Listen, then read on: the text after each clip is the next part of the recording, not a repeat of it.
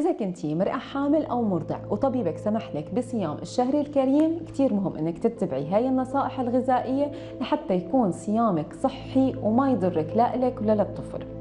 من أهم هاي النصائح هي شرب السوائل وجبة الإفطار والسحور. الشخص الطبيعي بيحتاج ل 8 ل 10 أكواب من الماء بهذا الفترة. المرأة الحامل أو المرضع كتير مهم أن تزيد هاي الكمية.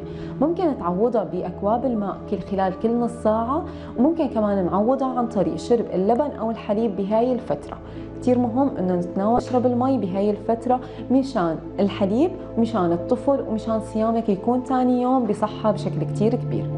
من أهم النصائح كمان إنه المراه الحامل أو المرضع ما تخا... ما تنسى تناول الفيتامينات بعد وجبة الإفطار أو قبل وجبة السحور لأنه مشان ما يصهل لها أو للبيبي أي نوع من الفيتامينات.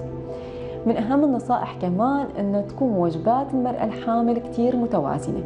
لهيك لازم تكون تحوي على البروتين الموجود باللحوم أو الدجاج أو حتى البقوليات.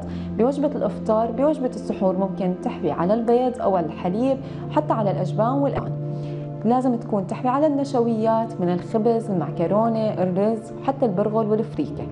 كتير مهم إنه تكون عم تدخل ألياف لجسمها عن طريق الخضار المضافة لوجبة الإفطار أو وجبة السحور.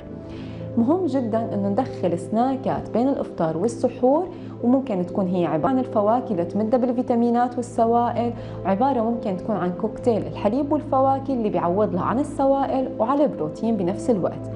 ما تنسي إذا حسيتي بأي غثيان أو وجع رأس إنك تراجعي طبيبك لحتى ينصحك بإنك تكملي صيامك أو توقفي